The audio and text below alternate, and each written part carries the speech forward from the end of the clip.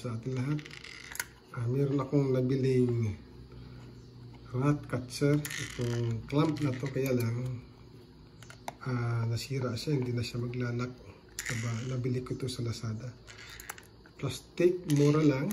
Kaya lang, ang hindi kagandahan sa plastic ay madaling masira. Tulad nito, hindi na siya mailak kapag inupan mo. Hindi na siya malalak. So, ang dahilan bakit hindi siya naglalak ay natanggal na yung plastic na rad dito.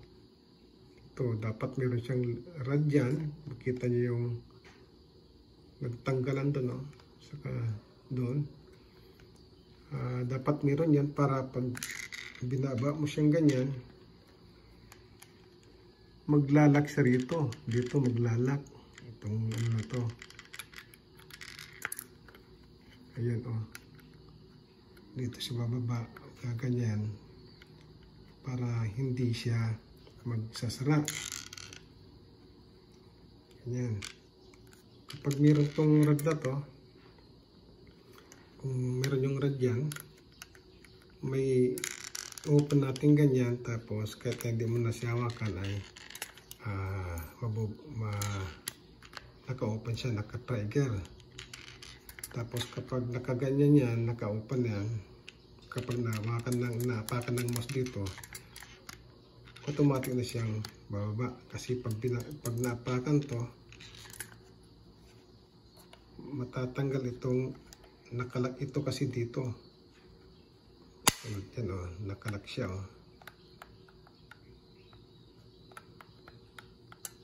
So, kung napakan doon sa harapan at tataas yan, matatanggal yung lock. So, ibig sabihin ito ay tataas. Tataas to, matatanggal naman yung pagkalak niya doon. So, dito mo naman ilalagay yung pain. Lagay mo yung pain dyan para pagkakain yung mouse, apakan niya yan, matatanggal yung pagkalak doon, maipit na yung daga. So, marirelease naman siya rin dito. Marirelease yung lock kung mayroon pang lock doon. Dito. So, sa ngayon, hindi na natin magagamit. Kaya lang, ang gagawin natin ay DDIY natin. Uh, gawin natin ng paraan para magamit natin ulit. So, ang gagawin ko ay bubutasan ko yan. Tapos, bubutasan ko ulit dito. At bubutasan ko rito. Ganun din dito sa kabila. Para itong rad na to, itong alambre na to ay siya na lang ilalagay kong nakaganyan na lang para dito na yung hawak yung yung mahawak niyan. Ayan.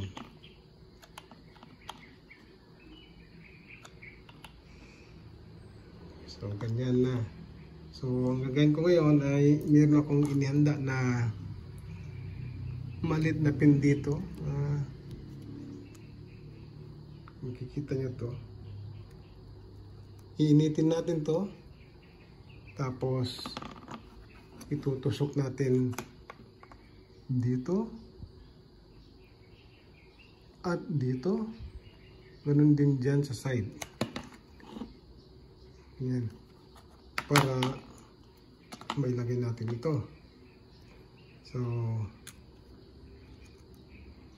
hitin ko muna to papakita kung paano natin uh, gagawin mamaya. Uh, punta muna tayo dun sa may kalan. So ito papahit muna natin.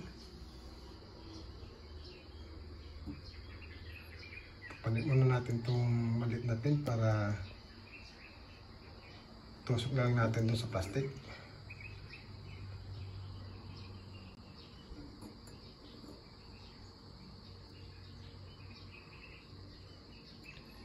So, i-DIY natin itong uh, mouse trap na to para magagamit siya ulit.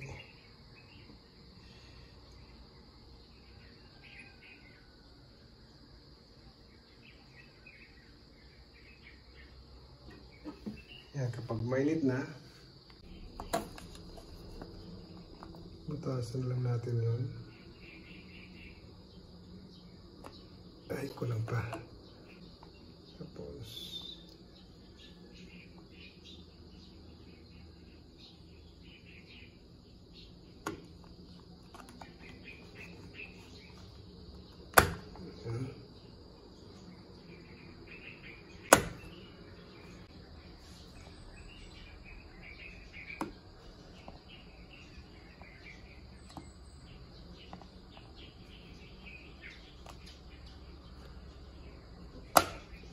Ito mas madaling pambutas yung pinainitan kapag ganito kasi plastic din lang.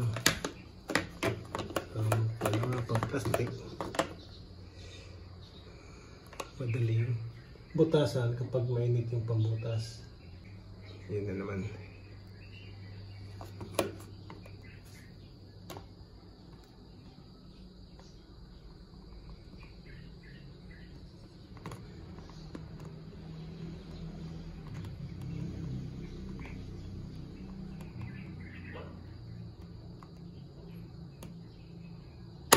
Ay, nasira na yung isa.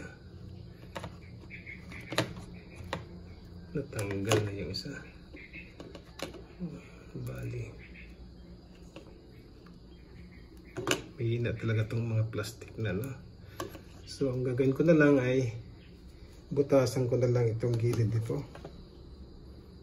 Gilid. Ito na lang saka dito para malagay na lang yung rod madaling masira. Kaya kung bibili man kayo yung bakal na mismo para ano para sigurado. So palaki na lang natin tong butas nito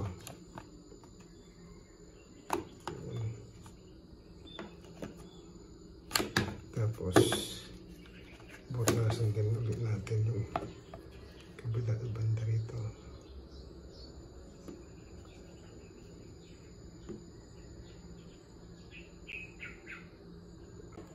So, butasan natin dito sa side. Ayan. Tapos, butasan din ulit natin dito sa side na to. Ito ulit natin. Butasan. Ayun, pwede na.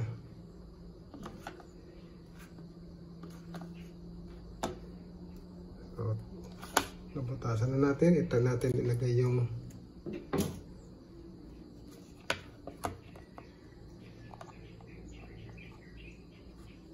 ay masikip.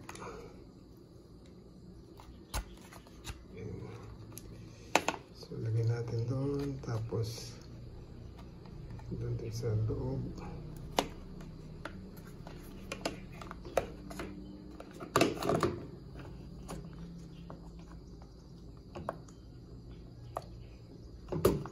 Yun. Tapos,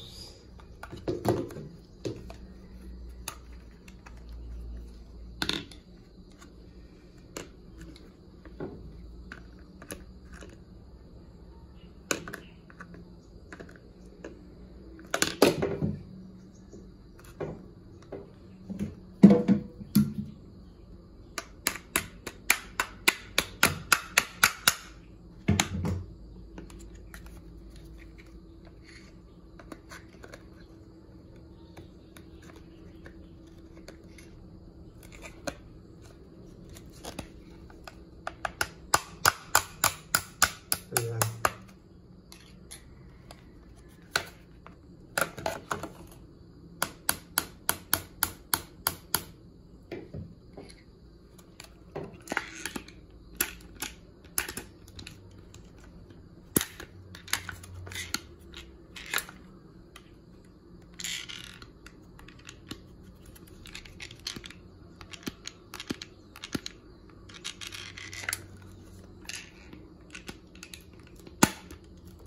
Yan, pwede na siyang ano, nailak na siya.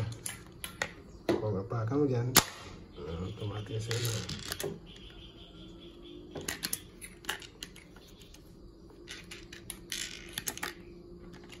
Ayan. Pwede na.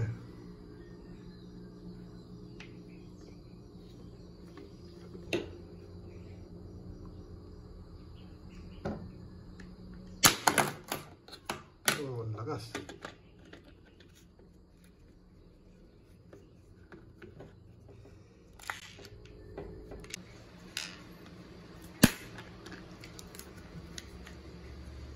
Ito, okay na po siya. Ayan. Pag apa, napakan ng dang rito, mag, matatanggal yung lock niya doon, bababa naman yan. So pag natanggal yung lock dito, matatanggal yung pagka sabit niya rito, saka sa mag, magsasara. Ayan.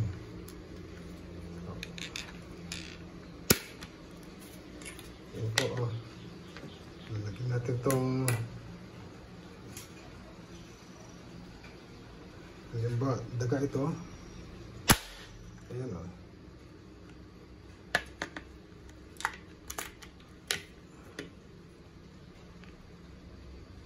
ko ng daga. Ayan. So, okay na. Ganun lang ang pag-DIY sa pag-repair nitong ah, plastic ah, mouse trap. Hindi siya recommended na bibilhin dahil madaling masira.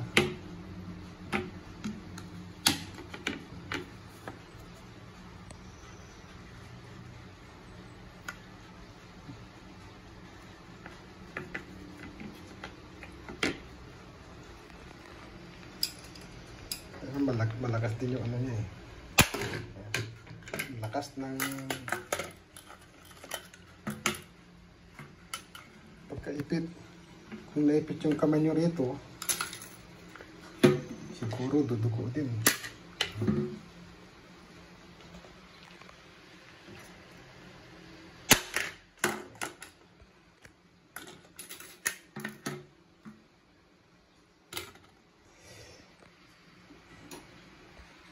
Ah, yun lang mga ka-DIY at ah, yung mga nakabili ng ganito sa Lazada at uh, limbawang may problema kayo, nasira. Ito, ito yung madali masira eh.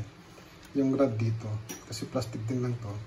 So kung masira, kaagad ah, ganito na lang gawin nyo. Yan oh. Simpleng DIY para magamit ulit. Pero wag na kayong bumili nito. Rekomendado ko wag nang bumili. Dahil apat na araw ko lang ginagamit to, wala pang nahuli. Nasira na kagad, kanya wala, wala nang nahuli. So, yun lang mga ka-DIY at sana ay ah, makatulong sa mga gustong mag-DIY sa mga ganitong may problema sa mouse trap o mouse clamp na nabili sa Lazada na plastic. If you think this video is informative, then like, subscribe, and share so I will be notified once new video is uploaded.